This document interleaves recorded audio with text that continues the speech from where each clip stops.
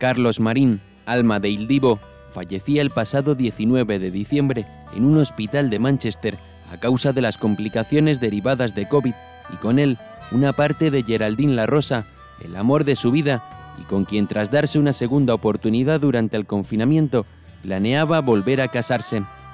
Cuatro meses después de esta durísima pérdida y reconociendo que todavía le duele demasiado hablar de Carlos, la cantante ha reaparecido en la inauguración de una tienda en la capital y nos ha contado qué es lo que más recuerda del gran amor de su vida. Su carisma, eh, para mí Carlos era todo la alegría, él se reía mucho, era muy, muy alegre, era muy gracioso y era una persona muy buena, muy bondadoso.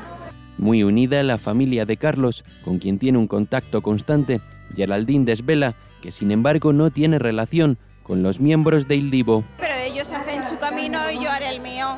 Y, y bueno, Pero no hay mala relación como se publicó ni nada. no, no, no, no. de- bueno, no hay relación. No hay relación. Sorprendida de que los compañeros de Carlos le sustituyesen tan rápido tras su fallecimiento, la artista asegura que no conoce a la nueva voz de Il Divo.